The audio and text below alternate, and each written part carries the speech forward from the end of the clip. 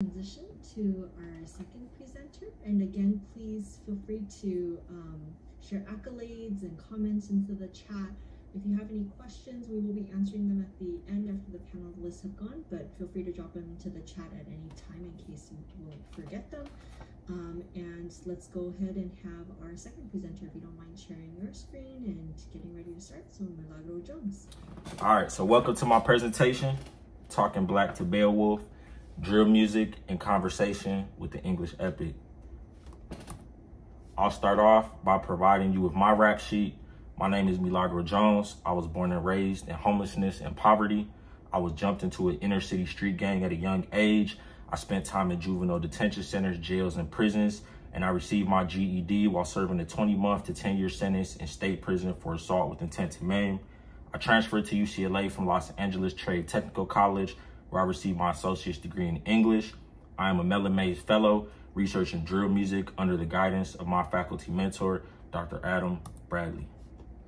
In the English epic of Beowulf, the Geats and the Danes operate in much the same way as inner city street gangs within the literature of drill music. In Beowulf, the young men are divided up into warrior bands. These bands submit to the leadership of ring givers. The ring givers are responsible for providing their followers with precious jewels, gold, and mead to drink. In the Epic of Beowulf, there are two distinct tribes, the Geats of Jotunlands, a northern Germanic tribe, located in modern-day Scandinavia, and the Scyldings or Shieldings, the Danes, a tribe descended from Danish warrior kings. These bands celebrate their victories in battle by drinking to excess within mead halls such as Heorot, the mead hall of the shielding king Hrothgar. The Shieldings descend from the great shield chieftain. His heroism is described. Scourge of many tribes, a record of mead benches, rampaging among foes, the terror of the hall troops has come far. The early gang literature of drill music takes place within the confines of Dro City. According to the Chicago Sun-Times, Dro City is a faction of BDs and GDs. Complex Magazine explains that Dro City was named after Samuel Spicer, known as Sajo or Dro. The BDs and GDs came together due to common interests, common backgrounds, and common goals, similar to the Geats and the Danes and Beowulf. Chicago street gangs were traditionally organized under strong leaders such as Larry Hoover, the founder of the Gangster Disciples. However, due to the targeting of law enforcement and successful RICO indictments, leadership in gangs became fractured and sets came together to create factions that blurred the lines of rivals and allies. With the notoriety that drill music brought, individual gang members became superstars, surpassing the hierarchy of leadership within their gang structure, and notable figures like Chief Keef ascended from trap houses to mansions. In Beowulf, the Danish king and ring giver Hrothgar is under the continual assault of Grendel, a demon descended from the clan of the mythical Cain from the book of Genesis, whose family tree consists of ogres, elves, phantoms, and giants. Beowulf, a hall troop of King Hygelac, gathers his men and sets out to Hrothgar's mead hall Heorot in the land of the Danes. He explains to Hrothgar that he is a kinsman of Hygelac and requests the opportunity to purify Heorot and face Grendel in hand-to-hand -hand combat in order to raise Hygelac's fame. This collaboration between Daots, between Danes and Geats was purchased with the man price. Hrothgar explains to Beowulf, there was a feud once. There was a feud one time begun by your father. With his own hand, he had killed Heatholaf. Hrothgar tells Beowulf, I healed the feud by paying. I shipped the treasure trove to the Wulfings. In the time of Beowulf, the warrior bands could end the beef and call a truce by paying a man price or providing treasure equal to the value placed upon the life of the man who was killed. In this way, Hrothgar purchased the allegiance of the Geats who Beowulf is a member of. In the world of drill music, on the other hand, a beef can arise at any time, and although it may simmer, it can heat up and boil over without warning. No price can pay for a man's life, and in Dro City, the factions had to click up to wage war against rival gangs and protect themselves from extinction. As drill music expanded from Dro City to other Chicago neighborhoods, a Japanese immigrant from Yamagata Prefecture known as DJ Ken Aon stumbled upon Big Keef, Chief Keef's uncle, and rented a room from him. He saw the talent in Chief Keef and invested in production and videography equipment. He produced Chief Keef's mixtape Glory Road and his first viral single Bang. He also shot several music videos for Chief Keef and provided videography for his first live performance at Adriana's, a popular performance venue in Chicago. DJ Ken Aon and Chief Keef clicking up exemplifies African American and Asian American literary and cultural exchange. Within English tradition, within English poetry, a tradition known as flyting is similar to African American toasting. An example in Beowulf of two warriors engaging in poetic insults in a manner identical to flyting is the back and forth between Unferth and Beowulf. Unferth says, No matter therefore how you may have fared, in every bout and battle until now, this time you'll be worsted. No one has ever outlasted an entire night against Grendel, to which Beowulf responds, Now, I cannot recall any fight you entered, Unferth, that bears comparison.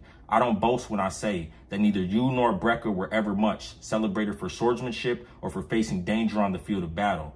African American toasting, including examples such as Rudy Ray Moore's Signifying Monkey, influenced hip hop with its traditions of ciphering, freestyle rap battling, and later diss records. Hip hop's influence on Southern Trap and Southern Trap's influence on drill can be heard in Lil JoJo's diss record towards Chief Keef's 300 set BDK 300K.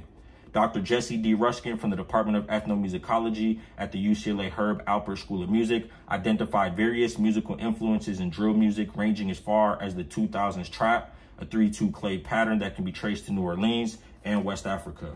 On Chief Keef's song Every Day He Rhymes, 300 Swole We Be Up in the Place, and OTF I Rep That Every Day, GBE I Rep That Every Day. In the song Every Day, he is bringing fame to the 300 set of Black Disciples and the OTF, Only the Family, and GBE, Glory Boys Entertainment factions. Lil Jojo's BDK is rhymed over the same beat as Cheeky's Every Day. Lil Jojo rhymes, they claim 300K.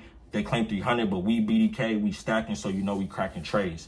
Elsewhere, he rhymes about Brick Squad and D Block. Lil Jojo has beef with 300 because they are black disciples and he is BDK or black disciple killer. When he refers to stacking, he is talking about a tradition of throwing up gang signs that look similar to the dancing called tutting. And when he says we are cracking trays, he is talking about disrespectful hand gestures that show hate to 300. References to Brick Squad and D Block are examples of Lil Jojo attempting to bring fame to his own set and faction in much the same way that Beowulf was trying to bring fame to King Hygelac. Chief Keef, like Beowulf, ends up getting the last word. He tweeted that Lil Jojo was a fan and wanted to be like him after he was gunned down in Chicago city streets. In Beowulf, the warriors spent time in the mead halls drinking excessively, and in the world of drill, gang members drink lean and smoke marijuana. Just as Grendel catches the Danes sleeping and ambushes them, many drill rap lyrics speak about gang members who were caught lacking and murdered because they were too high on drugs or intoxicated on lean. Grendel is unremorseful and earns no honor after death. Beowulf is killed as a result of his lifestyle. He lives by the sword, and his heroism and courage result in his death battling a fierce dragon.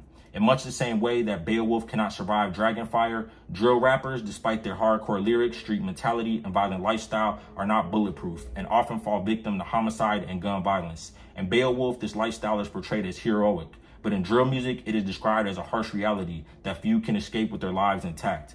Many of the founders of drill, such as Pac-Man and Snow from Dro City, died before their 26th birthday. They were millennials raised in gang-ridden inner-city neighborhoods. The Gen Z drill rappers they have influenced often die at younger and younger ages. Lil Ronald, killed last month in April in Chicago, was only 14. Ring givers were loaded with treasure and set out to sea. Pac-Man, the founder of drill, was honored with the celebration of life, and his memory is kept alive by artists like King Louie and the celebration of Dro Day in Dro City. Like other victims of gun violence in Chicago, drill rappers are honored with rest in peace t-shirts, funerals, and shrines containing teddy bears and liquor bottles. Drill music is a unique form of African American literature created by inner city gang members in Dro City. They were influenced by Southern trap, New York hip hop, and other musical and literary contributions. They made an art form that gang members in the inner cities and slums worldwide use to express themselves today. I plan to contribute to the legacy of drill music by researching gang literature as literature. I came to UCLA believing I needed to put drill music in conversation with the English epic like Beowulf for this music to have relevance as English literature. Now I realize that drill music can stand on its own. The youth who spit their lit in the inner city have become English lit in the university. My presentation is dedicated to all those in inner city who have lost their lives to gun violence and those of us who have survived and must deal with PTSD as we attempt to find truth, reconciliation, and make sense of the lives that we have left behind. Thank you.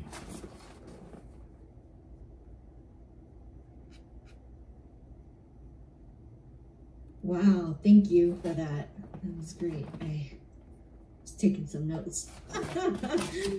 All right, uh, next up, we actually have a set of co-presenters. Um, so, Mara and Kiara.